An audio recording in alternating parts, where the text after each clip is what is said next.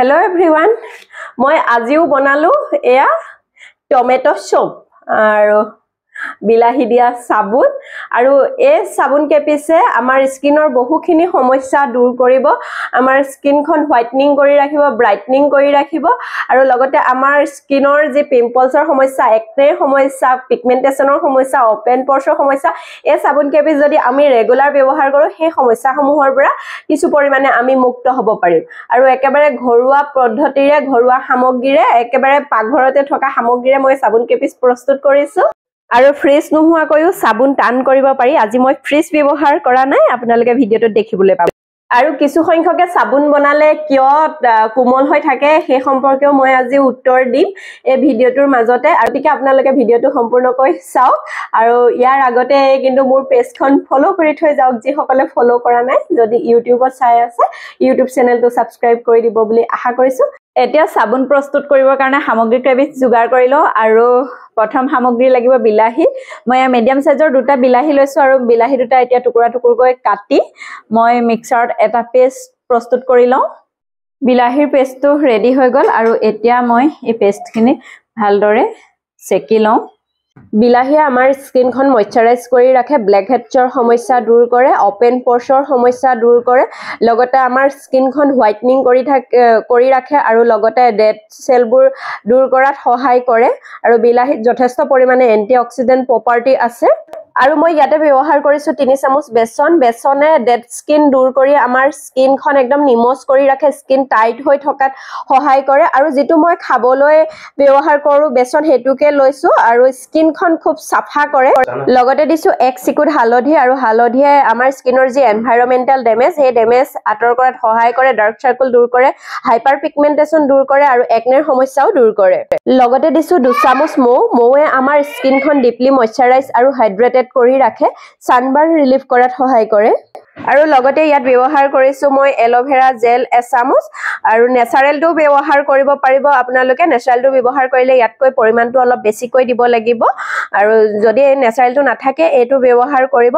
আৰু এল'ভেৰা জেলে আমাৰ স্কিনখন একদম নিমজ কৰি ৰাখে আৰু ছানবাৰ্ণ হোৱাৰ পৰা আমাৰ স্কিনখন বচায়। আমি যদি সদায় এল'ভেৰা জেল দি স্কিনখন মাছাজ কৰোঁ স্কিনখন একদম ছফ্ট আৰু গ্ল'য়িং হৈ থাকে। শেষত ব্যৱহাৰ কৰিছোঁ দুটা ভিটামিন ই কেপচুল আৰু ভিটামিন ই কেপচুল আপোনালোকে ফাৰ্মাচীত কিনিবলৈ পাব। আৰু ভিটামিন ই কেপচুলত হাই এণ্টি অক্সিডেণ্ট প্ৰপাৰ্টি আৰু এণ্টি এজিং প্ৰপাৰ্টি থাকে। আৰু যাৰ কাৰণে আমাৰ স্কিনখন ৰিংকলছ ফ্ৰী হৈ থাকে স্কিনখন স্মুথ আৰু ছফ্ট হৈ থাকে। এতিয়া গোটেইকেইবিধ সামগ্ৰী খুব ভালদৰে মিহলাই লওঁ। একদম মিশ্ৰণটো ছফ্ট হ'ব লাগিব যাতে অকণমানো গোটা থাকি নাযায়। এতিয়া আমাক প্ৰয়োজন হ'ব চাবোন বনোৱাৰ যিবিধ মূল সামগ্ৰী এয়া চপ বেষ্ট আৰু যোৱাবাৰ ভিডিঅ'টোত যিটো মই আলুৰ চাবোন বনাই দেখুৱাইছিলোঁ মোক প্ৰায় সকলোৱে সুধিছিল চপ বেষ্টটো ক'ত পায়? মই আপোনালোকক ইয়াৰ অনলাইন লিংকটো দি দিম। মই ফ্লিপকাৰ্টৰ পৰা লৈছিলোঁ আৰু এইটো গ্লিচাৰিন থকাটো আৰু আপোনালোকে নিজৰ পচন্দৰটো আনিব পাৰিব। বেষ্ট আহ, বিভিন্ন ধৰণৰ পায়। চপ বেষ্টটো মই টুকুৰা টুকুৰকৈ কাটি লওঁ তাৰপিছত ইয়াক গলাব লাগিব। গেছটো জ্বলাই এয়া চচপেন এটাত পানী পাতি দিছোঁ আৰু পানীখিনি উতলিবলৈ দিছোঁ আৰু পানী উতলাৰ সময়তে মই চপ বেষ্টটো কাটি লওঁ এইখিনি ৰেডি হৈ গ'ল আৰু এতিয়া গলাব লাগিব। পানী উতলিলে দেখিছে আৰু এতিয়া ডাবুল বইল মেথড এপ্লাই কৰিব লাগিব চপ বেষ্টটো গলাবৰ কাৰণে এয়া চচপেন এটা পাতি দিছোঁ আৰু এতিয়া ইয়াতে মই চপ বেষ্টখিনি দি দিছোঁ। একেবাৰে কম সময়তে চব বেচখিনি গলি যায়। এনেদৰে মাজে মাজে অকণমান লৰাই দিলেই হৈ যায়। খুব বেছি সময় যদি প্ৰয়োজন হয় পাঁচ মিনিট সময়ৰহে প্ৰয়োজন হ'ব। এয়া দেখিছে সম্পূৰ্ণৰূপে চব বেচখিনি গলি গ'ল আৰু ইয়াতে মই এই যিটো মিশ্ৰণ প্ৰস্তুত কৰি থৈছিলোঁ সেই মিশ্ৰণটো দি দিছোঁ গেছ এতিয়ালৈকে অফ কৰা নাই। আলুৰ চাবোনটো বনাওঁতে মই গেছ অফ কৰিহে মিশ্ৰণটো দিছিলোঁ কিন্তু এইবাৰ এনেদৰেই দি দিছোঁ আৰু অকণমান সময় লৰাই থাকিয়ে মই গেছটো অফ কৰি দিম। ভালদৰে চব বেচৰ লগত এই মিশ্ৰণটো মিলি যাবলৈ দিছোঁ। মোৰ মিশ্ৰণখিনি ৰেডি হৈ গ'ল আৰু এই মুহূৰ্ততে গেছটো অফ কৰি দিছোঁ। এয়া মই এতিয়া চপ কেছটো লৈ লৈছোঁ ইয়াৰ শ্বেপ দিবৰ কাৰণে চাবোনৰ আৰু এইটোও মই আপোনালোকক এইবাৰ লিংকটো ডেছক্ৰিপশ্যনত দি দিম। আৰু যোৱাবাৰ মই ইয়াতে নাৰিকল তেল সানি লৈছিলোঁ কিন্তু এইবাৰ তেলো সানি লোৱা নাই। এতিয়া গোটেইকেইটাতে ধুনীয়াকৈ দি দিওঁ।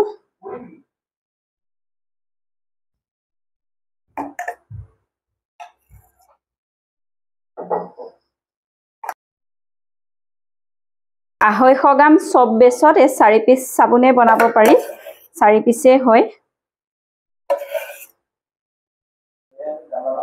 এয়া এতিয়া প্ৰায় দুঘণ্টামানৰ পিছত একেপিচ চাবোন ৰেডি হৈ যাব।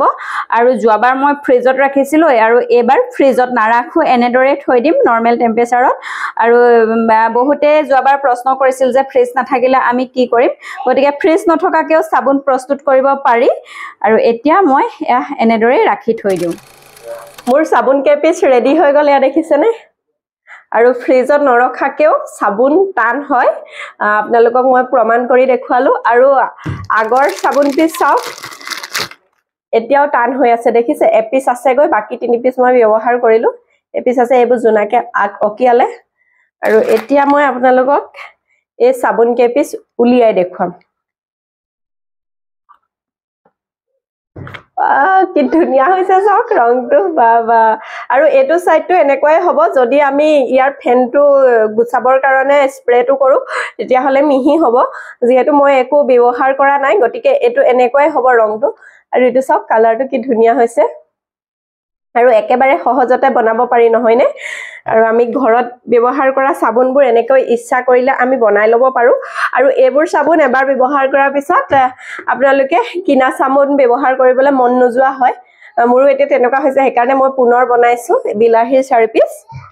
এয়া আৰু এই চাবোন কেইপিচ যে টান হৈছে আৰু আপোনালোকে বহুতেই কমেণ্ট কৰিছিলে আপোনালোকে বনাইছে চাবোন কোমল হৈ আছে।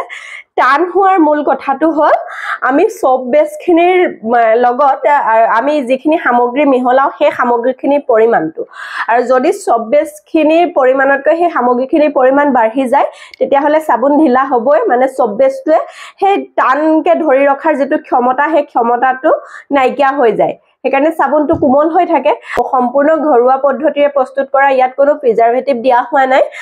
গতিকে এই চাবোনবোৰ এমাহ ডেৰ মাহ সময় লগাই থাকিব পাৰি তাৰপিছত পুনৰ বনাই বনাই ল'ব লগাব পাৰি। আৰু ব্যৱসায় ভিত্তিত বনাবলৈ হ'লে আমি প্ৰশিক্ষণ লৈ ল'ব লাগিব আৰু চাবোনসমূহৰ বিষয়ে সকলো কথা ভালদৰে খুটি নাটি মাৰি জানিব লাগিব। আৰু মোক বহুতে কমেণ্ট কৰিছিলে যে মই বিক্ৰী কৰিবলৈ বনাওঁ নেকি। মই বিক্ৰী কৰিবলৈ বনোৱা নাই। গতিকে ভিডিঅ'টো চাই কেনেকুৱা পালে জনাব। Bye bye